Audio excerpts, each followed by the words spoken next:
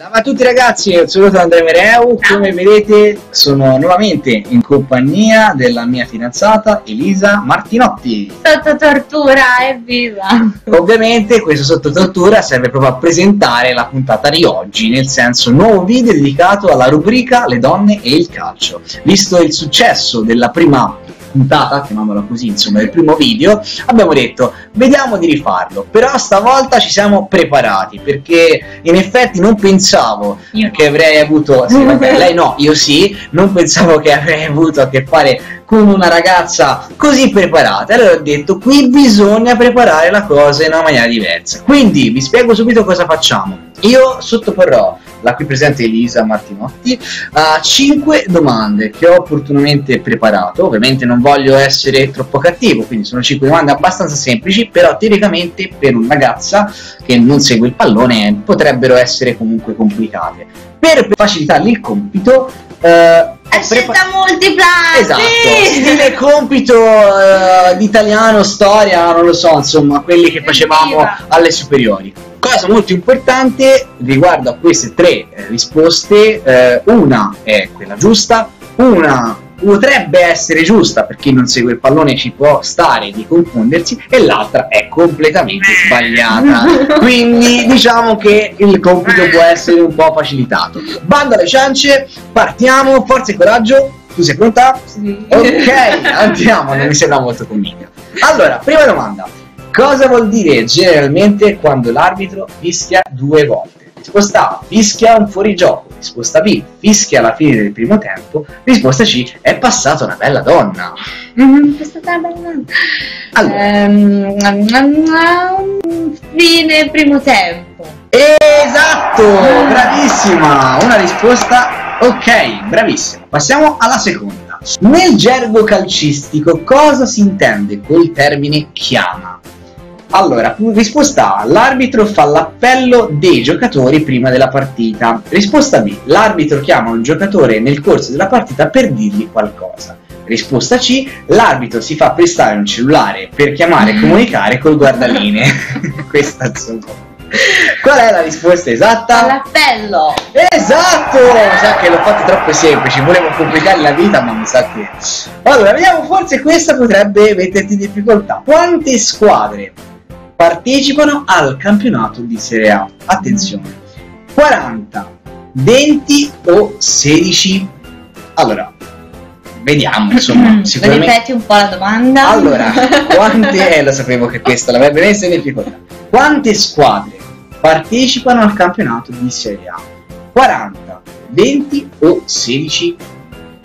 Una la puoi escludere, diciamo, perché è molto estremizzata. Diciamo che è fra le 20? Bravissima, incredibile, scazzata clamorosamente, scazzata, però ha azzeccato. 3 su 3 per ora. Ok, benissimo, beh, domande del cazzo proprio. Andiamo avanti, quarta domanda, mi sta stracciando. Arrivati allo scoccare del 45 minuto della prima o della seconda frazione, essere, il quarto uomo generalmente può sollevare una lavagnetta luminosa in cui viene indicato un numero. Che cosa indica quel numero? Questo è facile secondo me. Allora, indica i minuti di recupero della partita, indica il numero dei cambi fatti dalle due squadre durante il corso della partita, indica il numero di volte che è stato mandato a quel paese l'arbitro dei giocatori in campo. Va bene, insomma, mi sono scervellato. Allora, ma chi è il quarto uomo? Allora, eh, questa poteva essere la domanda, ecco, vedi, non ci È un pensato. guardalinea. Allora, il quarto uomo è uno, diciamo, degli arbitri che fa, cioè, che fa parte della squadra arbitrale. Nello specifico è quello che sta eh, a metà campo, eh, gestisce fondamentalmente i due allenatori, soprattutto in modo tale che non superare la tecnica, insomma, per controllare queste cose, però ha anche il compito generalmente di eh, tirare su questa lavagnetta e indicare questo numero che significa qualcosa. Il numero dei cambi? Sbagliato! Sbagliato! Fabiani! Eh, l'abbiamo messa in castagna! No! Indica minuti di recupero della partita. Sapevo. Eh, lo sapevo. Lo sapevo. Eh, è strano, pensavo che fosse più semplice. Eh, invece- lo so, mi ha confuso. Eh, tocco. Vedi, sono stato bravo. In questo caso sono stato bravo. Beh, beh. Andiamo all'ultima perché te la puoi giocare bene, dai. Nel gergo calcistico, e sottolineo calcistico, cioè sul campo di calcio, ok, perché potrebbe essere e avere qualche altro significato. Chi è generalmente il bomber? Allora, è il giocatore della squadra che in discoteca rimorchia le ragazze più belle? È il giocatore che tira delle bombe da fuori area per segnare? O è il giocatore della squadra che segna tanti gol? Tu, tu, tu, tu, tu, tu. Bomber.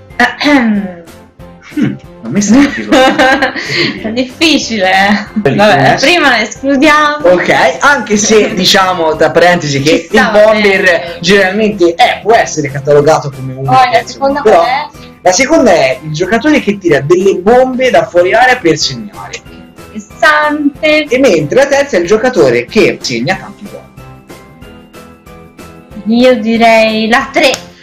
Esatto, è proprio lui, è il capocannoniere. Il così- esatto. lo Eh, eh, lo so, io l'ho messo come bomber perché mi sono collegato esattamente alla prima risposta perché generalmente il bomber così tra amici può essere quello che effettivamente no, va in discoteca insomma e cucca come si suol dire. Io non sono mai Non stato è un bomber. giacchetto. Anche, anche, sì, nel senso anche il giacchetto. In realtà dicevo non sono mai stato un bomber, né nel campo di calcio perché non ero un goleador e neanche in discoteca. Allora, eh, ok, eh, direi che ci siamo, abbiamo completato, quindi score complessivo 4 su 5, direi quindi un ottimo risultato assolutamente per la nostra Elisa che supera Cosa ho vinto?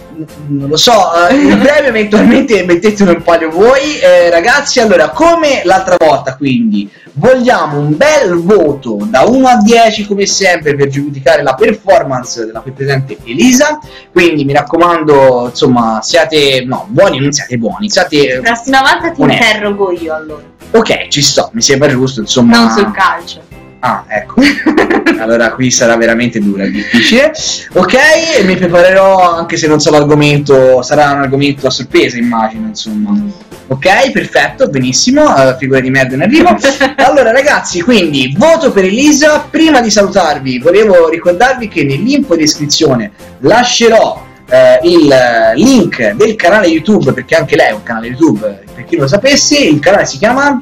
Fit in 3 E di cosa parla? Di fitness, E cosa fa in questi video? allenamenti. Yeah, fitness, sempre sport, ragazzi. Noi siamo sportivi all'ennesima potenza. Quindi, ragazzi, mi raccomando, mettete un bel pollice in su al video se vi è piaciuto. Iscrivetevi al canale, al mio e anche al suo, eventualmente, se foste interessati a un po' di fitness, un po' di moto, che fanno molto bene.